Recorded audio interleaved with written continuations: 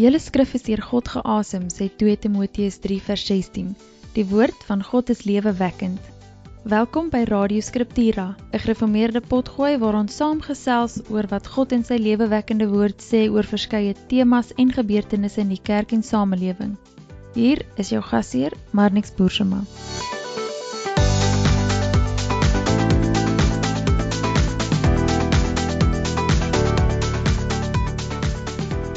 Baie welkom jy luister na nog 'n episode van Radio Skriptura. Ons het met julle gesels op ons Facebookblad vir julle gevra om vir ons so 'n paar boodskappe deur te stuur, bietjie kommentaar te lewer oor ons episodes en oor Skriptura in sy geheel. Uh as dit die eerste keer is wat jy luister, onthou om bietjie te gaan loer op ons webblad skriptura.co.za. Daar is baie ander episodes, baie artikels, blog inskrywings en so aan en gaan soek ons ook op Facebook en gesels daar saam met ons. So ek lees dit graag vir ons 'n paar boodskappe wat julle vir ons deurgegee het. Die enetjie is van Camille Swart wat sê baie dankie vir die episode. En dan is hier ook 'n boodskap van Rickert Pelser wat sê ek dink dis baie noodsaaklik dat julle aanhou. Kitty Kok sê in ons tyd waar dwaalleer en leuns dikwels verkondig word om Christen gelowiges te verlei, is die suiwer verkondiging van die waarheid van die woord uiters noodsaaklik. Waardeer Skriptura baie. En dan Liani van Dijk sê, dankbaar vir julle seënwense vir nog baie episodes. Dankie julle vir julle boodskap, ons waardeer dit, spoor ons ook aan om net so aan te hou en om ook aan te gaan met ons episodes en met ons artikels en so aan. So, ons waardeer julle kommentaar en ons waardeer julle boodskappe. Stuur asseblief nog vir ons en dan kan ons dit op ons volgende episodes ook, soos hierdie een, weer voorlees. Op hierdie episode gesels ons oor verrassingspraktyke, wat deesdae al hoe meer aan die toeneem is en verrassing natuurlik teenoor begrafnis. En saam met my dink vandag eh, is Jan-Louis Lee en Jonker Venter. Welkom julle. Hallo Marnix. Hallo Jonker. Hi Marnix. Dankie. Uh soos in die verlede is dit weer eens 'n 'n lekker saamgesels episode waar ons net 'n rustige informele uh dialoog voer oor oor verrassing en ek dink ons gaan weer bietjie begin uh gedagtes wissel rondom die geskiedenis van verrassing. Ehm um, ek dink die interessante ding van die geskiedenis van van die verrassing is dat dit is nogal mens kan nogal lyne trek na die vroeë sê mens die antieke samelewings en so en dan veral ook die antieke gelowe en dat hulle allerlei verrassingspraktyke of lijkverbrandingspraktyke gebruik het omdat dit deel was van hulle heidense rituele en heidense gelowe en verstaan van hoe die hoe die wêreld werk soos 'n ateïstiese of 'n heidense wêreldbeskouing wat eintlik ge gewoonlik tot gevolg gehad het dat hulle dan ook so hulle lyke verbrand. Ek weet nie wat sê julle ouens daaroor, wat het julle bietjie daar daar te sê?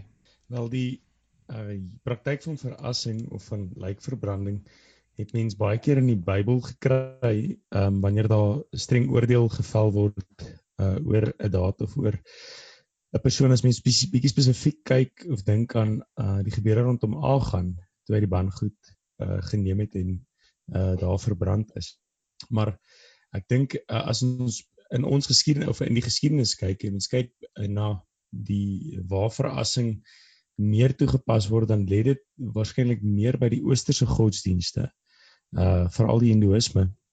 En nou uh dit dit dit is baie komplekse geloofsisteem wat hier uh, ter sprake is. Ek dink ons almal weet dat die hindoeïste of die hindoes glo in uh reïnkarnasie. Uh En hulle glo dat jy um een moet word met die of jy is een met die natuur en jy moet op op 'n manier deur kennis en deur verligting moet jy loskom van die natuur sodat jy deel kan word van die absolute. Dis 'n tipe van 'n vaal godheid en dit uh, dit is 'n baie moeilike konsep vir ons om te verstaan, maar as jy nou nie geslaag het om in hierdie leeftyd deel te word van hierdie absolute nie, dan word jy weer lewendig gereïnkarneer met ander woorde in 'n ander lewensvorm. Jy moet weer probeer. So jy gaan jy gaan as jy sleg geleef het, dan gaan jy terugkom as 'n bok of 'n muur of 'n hond of 'n ding. Um dit is terloops hoekom baie Hindus nie vleis eet nie, want hulle is bang hulle um eet van hulle familie wat reeds gesterf het. So as hulle nou skaap eet, dan eet hulle waarskynlik van oupa of ouma. En dit hou baie verband met die gedagte van karma, nê? Ehm um, wat jy doen kom terug na jou toe en as jy sleg doen, dan gaan sleg dinge toe terugkom. So die oosterlinge wil nie reïnkarneer eintlik nie. Ehm um, dit dit klink half dalk vir party mense aanloklik klink lekker, maar vir hulle is dit straf. Ehm um, ek het in my lewe geval, ek het nie nirvana bereik nie en nou moet ek maar weer probeer. So hulle hulle probeer dan alles in hulle vermoë om nie te reïnkarneer nie, selfs om die liggaam te verbrand. En dit dit alles dan nou natuurlik 'n poging om deel te word hierdie hierdie vaag godheid. En van daar het hulle die eerste Auditorium in Johannesburg die Hindus in 1918 opgerig. So dit is min of meer ek weet nie of mense al gedink het dit dalk die agtergrond kan wees van van verrassing spesifiek in Suid-Afrika nie. Ja, dit is eintlik nogal opvallend dat dat 'n mens met uh baie Christene deesdae die die verrassingspraktyke neem regtig toe veral in Suid-Afrika wat aanvanklike ehm um, of waar die die hoofstroom populasie is blykbaar uh, Christene. Ehm um, en en dat verrassingspraktyke regtig toeneem. En as mens dan met mense begin gesels daaroor, ek weet hierdie is 'n baie is natuurlik 'n baie emosioneel gelaaide onderwerp waar ons gesels uh want dit gaan oor ons laaste oomblikke en dit gaan oor ons laaste besluite en die die laaste besluite van ons geliefdes ook.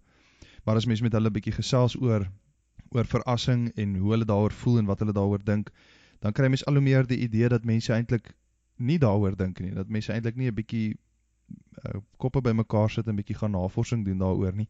En ek dink jy lig dit mooi uit Jan Louis dat hierdie ding het het maar baie sterk bande met heidense godsdienste en dit is 'n dit is 'n antieke gebruik maar dit is nie dis nie antiek antieke of 'n normatiewe gebruik vir vir die Christene nie. Glad nie. Inteendeel, ons sal 'n bietjie later ook daarby kom. Ehm um, en interessant ook die die eerste krematorium wat in Rusland opgerig is. Ek dink die datum is 1928. Het die die hmm. regeringsamptenare, ekskuus Jonker, wat wil jy sê? Nee nee, ek het dieselfde raak gelees daaroor. Dis 'n baie interessante verhaal hoe hoe hulle juis in protes teen die Christene die Christene dan verbrand het. En dat jy uh, jy eintlik as as 'n laaste belydenis is 'n laaste uh ontkenning van die Christelike geloof verbrand jy jou jou jou liggaam laat jou liggaam verbrand of die liggaam van jou geliefdes dan verbrand. Dit is baie interessant. Dit is eintlik een van die eerste direkte pogings om die Christelike geloof te te demp die die vlammetjie ja. dood te maak daar in, in Rusland en in die verlede was dit 'n onderliggende wêreldbeeld, 'n wêreldbeskouing wat eintlik deurgekom het met die verrassing, maar in Rusland sien ons vir die eerste keer kom die ding se ware kleure nou eintlik uit. Ja, en ek dink eh, wat ons as Christene vra is hoekom is Christene dan gekant teen lijkverbranding? En ek dink vanuit hierdie uh, agtergrond van Rusland en wat daar gebeur het, sou die ongelowige sê, maar as ons die lijk verbrand, dan kan hy nie meer opstaan nie. Ehm um, so dit is baie duidelik dat dit gekant is teen die Christendom asof jy die Christendom dan nutteloos maak. Terwyl dit allermins die geval is, 'n uh, Christen is nie gekant teen lijkverbranding uh omdat lijkverbranding klaarblyklik nou die die opstanding sal oorheers nie, maar dis eintlik in wese gaan dit oor 'n uh, belydenis saak, is 'n saak van geloof en belydenis Ons moet baie opnigter en sensitief daarvoor wees um dat dat baie mense dood eenvoudig net nie dink dit is belangrik nie. Weet jy uh ouens wat nog nooit eintlik uh daaroor gedink het nie, nie dink dit is belangrik om daaroor te dink. Um en baie die gevoel van of ek nou begrawe word of ek nou veras word. Ek ek gaan nou nie veras word vir daardie redes vir die Hindus wat ons nou nou gepraat het nie. En ek gaan ook ja. nie verbrand veras word omdat ek so sodanig die ehm um, opstanding gaan ontken nie. Dis maar net daar's ander redes. Daar's ander redes daarvoor. Dit is baie mense sê dit is is uh, goedkoper, uh, dis meer prakties, dit is ehm um, daar's gesondheidsredes of ehm um, uh, die weet ek gaan in elk geval ontbind. So ek bespoedig eintlik in hierdie proses. Baie mense dink eenvoudig nie daaroor. Ja, en ek die ding wat 'n mens opmerk is dat daar's hierdie oorheersende gedagte al hoe meer dat dit dit maak nie saak nie is asof jy sê jy sê niks daarmee nie. En ek dink dit is juis wat nie die geval is nie. Dis wat nie gebeur nie. Is jy as jy hmm. dit wat jy met jou liggaam doen na jy dood is dat, daarmee sê jy nie niks nie. Ehm um, altens is dis hoe ek dit verstaan is as as jy jou laat veras willens en wetens laat veras dan sê jy in wese iets of jy dit weet of nie En as jy jou laat begrawe, dan sê jy ook iets. Jy jy sê nie niks nie. Dit is dit is soos jy gesê het Jonker, dit is 'n belydenis saak. En die ander ding wat my ook opval is hoe mense al hoe meer, ag seker nie al hoe meer nie, dit was seker maar nog altyd daar, maar dis asof jy net wil ontsla raak van die oorskot van die liggaam. Jy is mos nou klaar nie meer daar nie, jy is mos nou klaar dood of jou geliefde is nie meer daar nie, so raak net ontsla van die liggaam. Maak nie saak op watter manier dit gebeur nie. Nou in 'n sekere sin is dit is dit so dat die liggaam is nie meer jy nie, die, die liggaam bly agter. Maar vanuit 'n Bybelse perspektief, vanuit die Christelike wêreldbeskouing, weet ons jy sê jy sê met verrassing of jy sê met begrafnis sê jy iets en jou liggaam is nie maar net die oorskot wat jy agterlaat en waarmee jy kan maak soos jy wil nie want dit is per definisie is dit natuurlik nie jou liggaam nie. Uh die liggaam behoort behoort aan God. Net gou so net vinnig Jan Louw, jy het nou genoem oor die argumente. Ons kan nou nie by al die argumente uitkom vir verrassing nie. Maar die enetjie wat nou nogal opduik veral in Jonker het nou nog gepraat in van China, maar ook as ek reg onthou hierbo in Kenja, ook in Afrika, ehm um, beperkte spasie is 'n groot rede waarom verrassing nou toeneem. En so dit dit raak nou nogal 'n gewilde argument. Daar's net nie meer plek vir begrafplaase nie.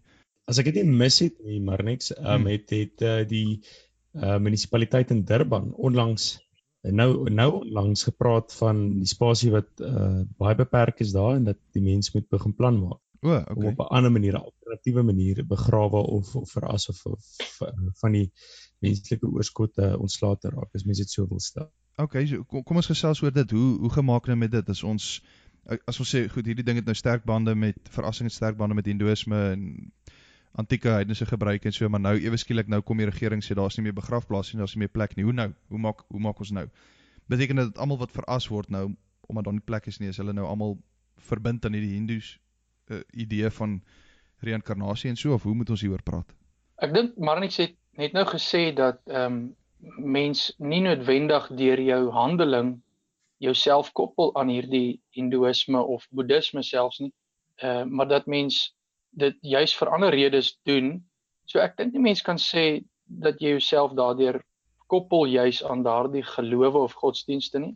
Maar ek ek dink tog dit bly nog 'n saak van belydenis en dit moet ons baie sterk vashou.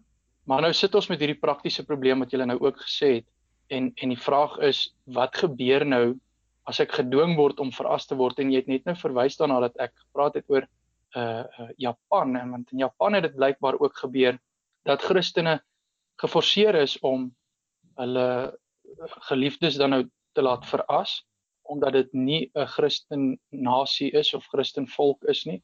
En dan moet uh, soos wat ek gelees het ook dan moet mens nie tussen goed en sleg kies nie, maar dan moet jy op so in so 'n geval dink ek moet jy kies tussen twee slegtes omdat ons in 'n sondige bedeling van hierdie wêreld sit. So die Christene in Japan is is nie uh gelukkig of is nie gemaklik met die besluit nie dat hulle veras moet word. Nee, maar maar wat anders kan hy doen? Ja, presies. Uh, sy gel sy geliefdes gaan ontbind en hulle gaan nie die geleentheid kry om begrawe te word nie. So ek dink in daai geval moet mens sê as dit nie anders kan nie, dan dan sou mens kon sê dis nie 'n saak uh wat 'n mens skuldig voor God gaan laat staan nie en dit en dit kan ook nie jou opstanding weerhou nie. So ek ek dink dit is 'n baie moeilike situasie en elke konteks sal maar moet bepaal uh wat die uitkoms moet wees.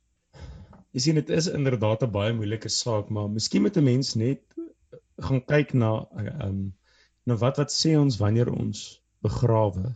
Miskien gee dit ook tog rigting, nie want ehm um, die Bybel praat um, op op 'n hele aantal plekke daar is 'n magdom van skrifgetuienis oor begrafnis. As 'n mens maar net na die Ou Testament toe gaan kyk dan val dit 'n mens op dat Abraham um, ek dink een van die skrywers sê hy sit nog nie hy besit nog nie 'n sentimeter grond nie maar dan gaan hy hierdie groot uitgawe van die Makpela grot aan om vir Sara te begrawe en dan word dit tipe van 'n familiegraf. Soveel so dat uh, jare later um, so sal Josef um, in Egipte sê dat ehm um, daar en hy maak seker dat ehm um, sy liggaam teruggaan uh, na na die uh, na uh, uh, Israel of na na Kanaan wanneer hy uh, wanneer hy uittog jare later gebeur. As 'n mens maar net ook daar dink dat ons Here Jesus begrawe is. Um ja. en dat Paulus in 1 Korintiërs 15 um praat van die weet die, die seker is in die koringkorrel wat gesaai word en en dat dit 'n verkondiging is van die opstanding. Ja, een van die een van die mees deurslaggewende tekste vir my is Deuteronomium 34 waar die Here self die liggaam van Moses begrawe. Dis vir my ja, natuurlik. Ja, is amper ja. asof 'n mens nie meer teks as dit nodig het nie. Die Here die Here begrawe self die liggaam van Moses. Hy neem hom nie op in die hemel nie, hy verbrand hom nie. Hy ehm um, weet laat die liggaam nie net disintegreer of wat ook al nie. Die Here gaan begrawe die liggaam van Moses. Ja, die Here self en hy doen die moeite om dit te doen. Ja. Ja. En as hy dit doen, soos jy sê, dan is nie meer tekste nodig eintlik nie. Maar tog kom daar baie ander tekste op by 'n mens. Uh, ek dink byvoorbeeld veral baie mense wat nou sou beweer dat die Bybel ook praat van verbranding, verwys waarskynlik na Saul se verbranding, Saul en sy manskappe, 1 Samuel 31. En dit is nogal 'n kontroversiële teksgedeelte oor wat moet ons maak met daardie teks? Want daar self is Saul verbrand, maar maar baie interessant wat daar gebeur.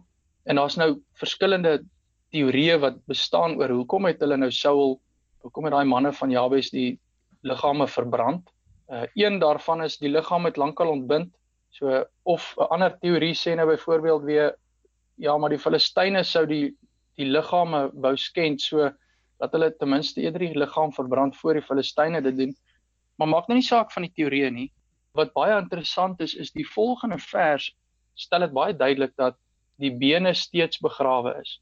So die liggaam is net so verbrand dat die vlees basies weggebrand het, maar die liggaam se bene is nog steeds begrawe en en daarin sit ons nog steeds met ons belydenis dat die begrafnis het 'n baie belangrike plek in ons Christene se lewens. So die punt wat ek dink jy ook nou maak is as ons kyk na die Ou Testament sien ons hoe die Here self handel in in terme van begrafnis dat hy self die liggaam van Moses begrawe en nie verbrand nie of nie iets anders daarmee doen nie. Maar as ons gaan kyk na persone wat onder God se oordeel staan as 'n 'n manier om God se oordeel pertinent sigbaar ook te maak, is daardie mense verbrand.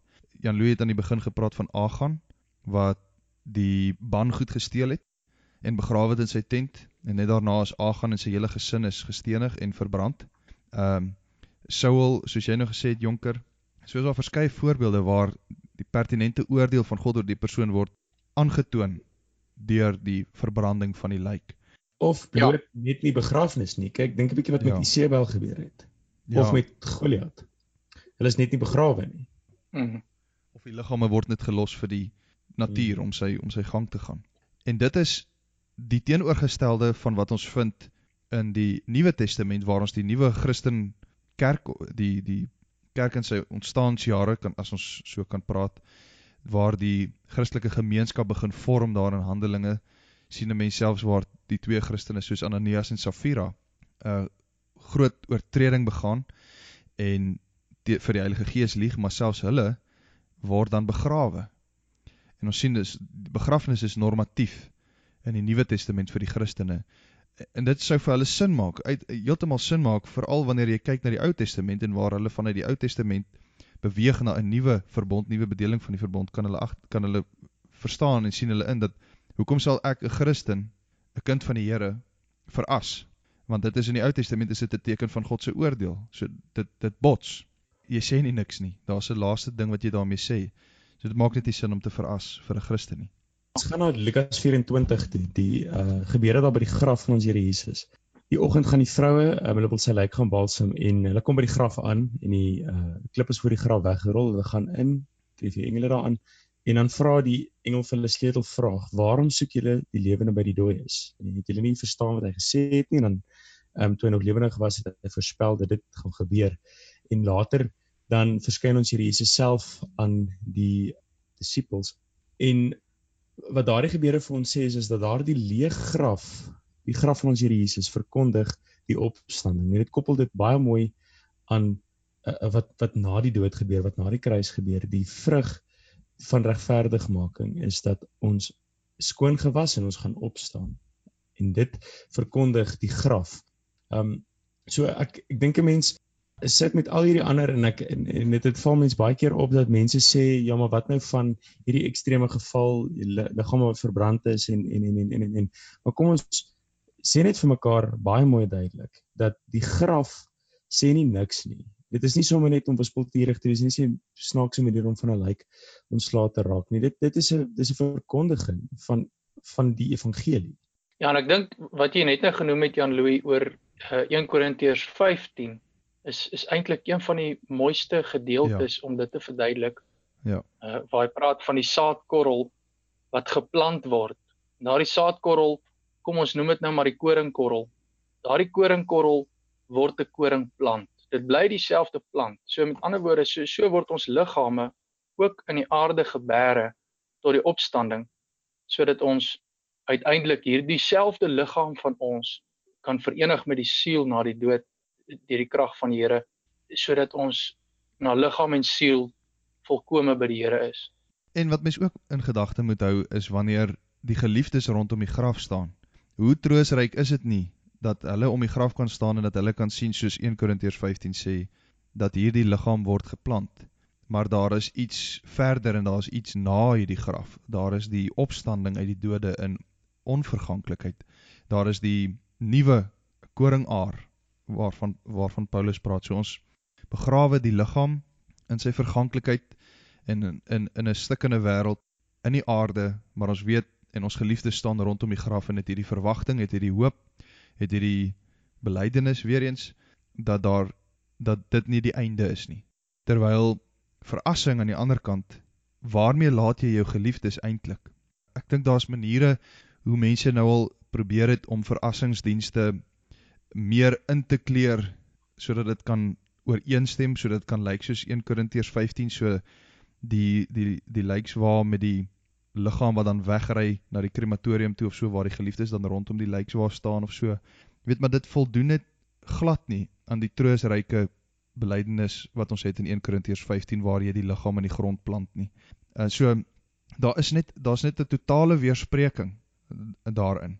Hiermee saam wil ek ook iets sê en ons het dit nou al 'n paar keer genoem, maar laat mense dit ook maar net pertinent sê dat ons kan ook nie vir iemand sê vanuit die skrif dat verassing uh, Jan Louw dit genoem dat God dit as 'n morele oortreding teen sy wet byvoorbeeld sou ag nie en dat hy my daarop grond gaan gaan veroordeel nie. Want dan sit 'n mens nou met die dilemma waar gelowiges in die verlede byvoorbeeld gemartel is en dan uiteindelik op die brandstapel verbrand is vir hulle geloof.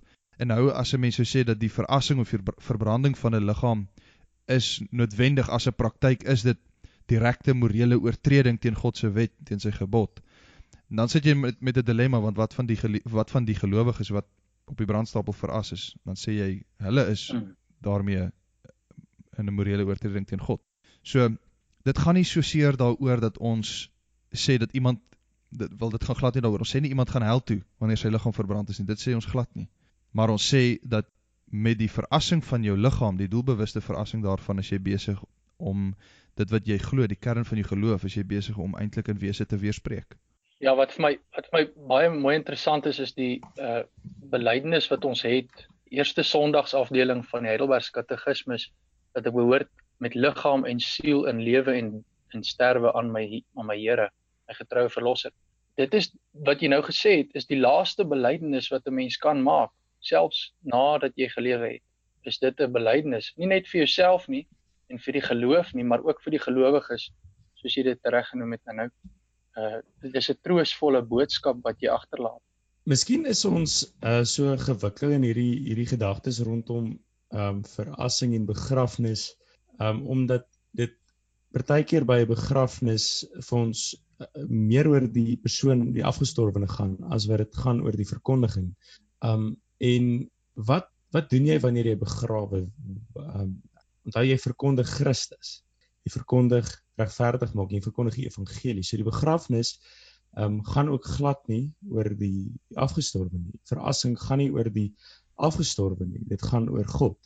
As ek net by kan voeg by wat jy nou gesê het Jan Louis, dis presies wat wat dit sê en as ons nie as as kom ek stel dit so, as ons uh, begrawe dan verkondig ons daardeur dat dat Christus het werklik liggaamlik opgestaan en en soos wat ons ook in Romeine en Korintiërs lees, net soos wat God hom uit die dode opgewek het, sal hy ons ook uit die dood opwek. So dit gaan in die eerste plek oor God en sy eer, sy almag. Die punt is net om ook te sê dat selfs al sou mens begrawe en jy trek die fokus van Christus af, dan dan weet dit is dis nie uh dit is ook nie reg nie. Ja. En op die einde van die dag is dit ook dis my liggaam, maar dit is dis die liggaam wat hy vir my gegee het volgens sy ontwerp, volgens sy doel. En op die einde van die dag moet ons dan mos ook sê dat my Skepper God het die laaste sê ook oor oor sy liggaam wat hy vir my gegee het, is dit nie? En ek dink daar daarom is die skrif ook baie duidelik daaroor dat ons Skepper Here wil dat die liggaam wat hy vir my gegee het weer teruggesit word in die in die aarde en die grond soos wat hy ons ook uit die stof geneem het. Dis die een aspek van ons skepping en ons verhouding met ons Skepper en aan die ander kant in verhouding met ons verlosser is is hierdie troos dan ook daar dat soos wat ek in die stof gebêre word, sal ek ook weer uit die stof opgewek word. En dit sê ek dit sê ek albei met met my begrafnis. Dit is hierdie kragtige belydenis wat ek aflê al is my stem stil na my dood, maar dit is ook hierdie wonderlike troos vir my geliefdes. Dat ek vir hulle kan sê dat uh, ons sal mekaar weer sien in ons in ons opgewekte liggame. Ek dink ons twee dinge wat nog uh, uitbly wat wat ons oor moet gesels veral vir ons luisteraars wat dalk hierna luister en regtig nou in 'n wroging is uh, oor hierdie emosionele saak dat hulle geliefdes dalk veras is en hulle wonder nou oor gaan my geliefde hel toe omdat hy veras is? En daaroor het ons nou al reeds gesê ons ons kan nie van die skrif so stelling maak nie dat iemand wat veras is gaan help nie, maar die ander ding dalk wil jy bietjie daarop uitbrei uh, Jonker het jy nou nou ook daar gepraat oor die feit of my die verrassing van my liggaam my opstanding gaan verhinder op enige manier. Ja, kyk, die die krag van die opstanding van ons liggaam lê nie in onsself nie, dit lê ook nie in 'n manier hoe ons liggaam geskep is, maar ook hoe ons liggaam gesterf het nie. Uh, ons het net net nou gepraat oor gevalle waar mense dan nou in in motorongelukke verbrand het of uh selfs uh in die see of in die water verdrink het wat wat weggeraak het. Ehm um, dit, dit gaan nie daaroor nie. Die die opstanding van ons liggaam berus in die werk wat Christus vir ons gedoen het. Dis die verlossingswerk wat hy vir ons gedoen het en die krag wat God gebruik wat hy Christus mee opgewek het, daardie selfde krag sal hy ons liggame ook opwek. So ek, ek dink dit is die troos daarin. Ons troos lê nie in hoe ons tot sterwe gekom het nie vir ons opstanding nie, maar juis hou ons vas daaraan dat Christus ons sal opwek in die laaste dae. God sal ons opwek. Dankie julle. Ek dink ons kon 'n paar baie belangrike uh, lyne trek oor die verrassing veral na die geskiedenis toe en na die godsopenbaring in die Bybel en ook hier en daar 'n paar vrae beantwoord van ons luisteraars. Is daar enigiets anders wat julle nog oor hierdie onderwerp wil noem? Ek het 'n laaste gedagte. Ek wil net ehm um, Ja.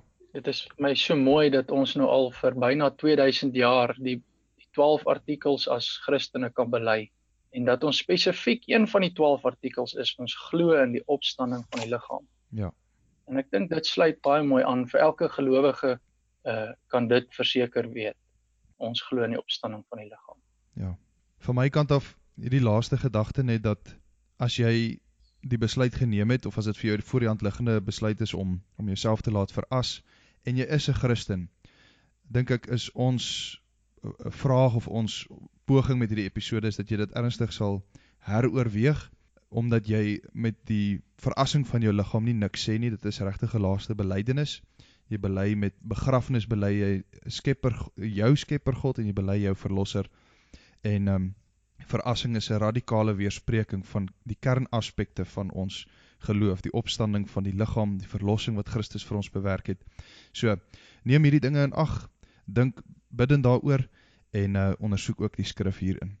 Tot 'n volgende keer dan. Dankie dat jy geluister het. Totsiens